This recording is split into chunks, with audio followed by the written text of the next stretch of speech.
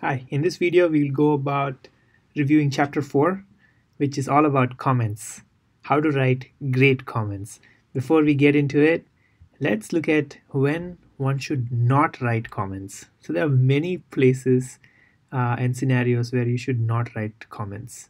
Um, so first and foremost was you should not write comments to explain the code because the code should be simple enough that the developer reading the code should understand it without having to read the comments.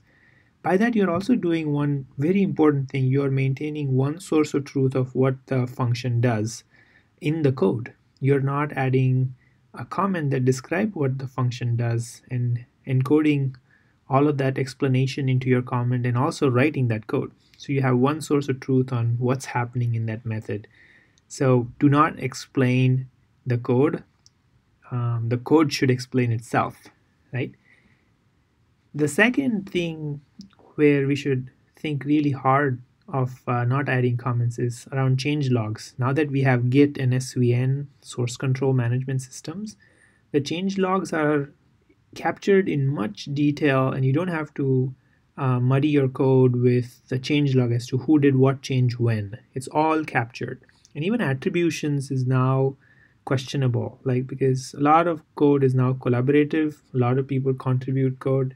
So if you have an author maybe it helps but maybe not because a lot of people contribute and things change over time. Maybe the author no longer uh, works or maintains on that code right? So probably not a good idea for maintaining change logs in comments or even attributions position markers indicating uh, certain functions being private, certain functions uh, being public. That's also very difficult to maintain. So position markers we should avoid and avoid uh, ending braces comments like uh, this is the end of the for loop, this is the end of the while loop. Uh, so if you end up doing that, then it's very hard to first of all understand that your code is modular. Like most likely you will do that because your functions are big. And so you might want to refactor instead of um, adding comments.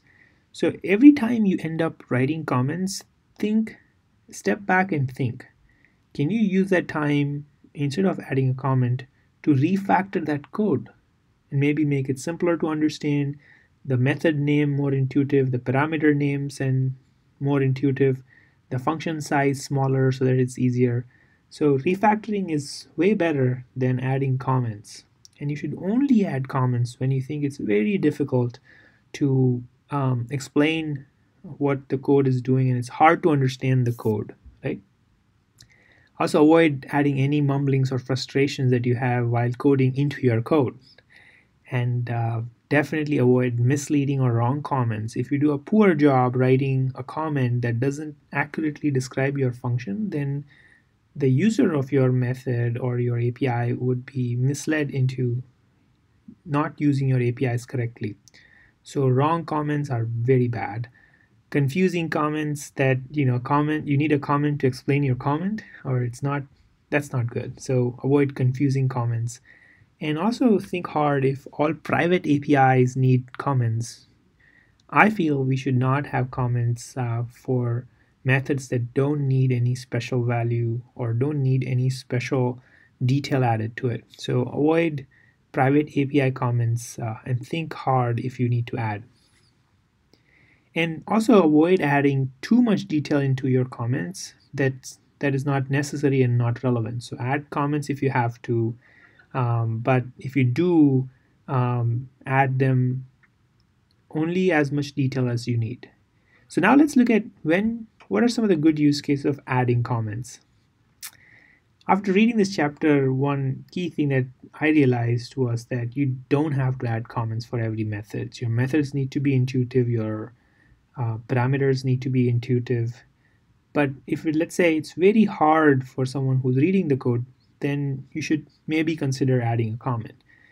Um, but there are three or four reasons where comments do a pretty good job. So let's look at them. So if you have private APIs, we, we went over that, but if you have public APIs, then it's it's a very good idea to maintain um, documentation so that your library users can use your methods without having to download all of your code and understand.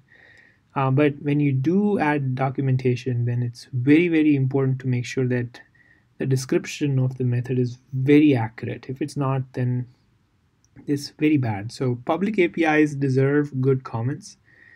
Um, another three things that I found in this book was if you want to reveal intent as to what is the intention of writing this code, what was the what was the developer's thought process when they wrote this software? Or what was the rationale and some of the decision making process of choosing certain algorithm versus others?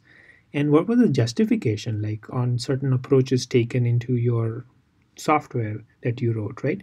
So writing comments about intention rationale or decisions that are made why certain decisions were made and even the justification that support some of those decisions are the best use cases of writing comments. And even you can use comments to caution or amplify, like let's say certain tests take way too long. But there are better ways uh, with ignoring certain tests. But if you want to caution a developer that certain API is way too slow or the performance is very poor, so use it with caution. So comments could be very handy if you want to caution um, the developer as to why you're using a set versus a list and uh, why certain methods was not preferred, right? So cautioning and amplifying some of those decisions and explaining the why is is a uh, is the area where comments do pretty good. But if you explain the how, then that's for the code to tell, not for the comment. So this was the key insight. Like not all methods need comments.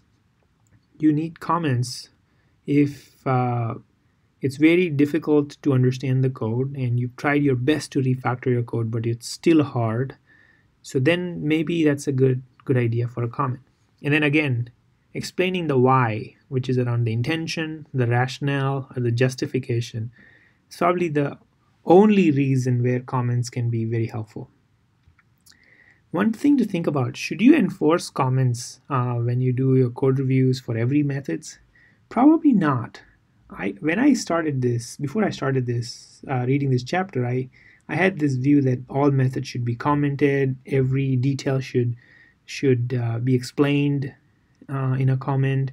But now I don't feel that way. I feel that if you write good code, if you write smaller functions, if you use the right function names, if you use the right set of parameters, that it should be evident, and that only maybe public APIs and intentions uh, and rationales are the right places for comments. Only if you add value to the function para- function method signature that's not evident by reading that method signature, then you should consider adding comments. What do you all think? What do you enforce in your organization? Write in comments section below. I'd like to hear uh, what you think. Thanks.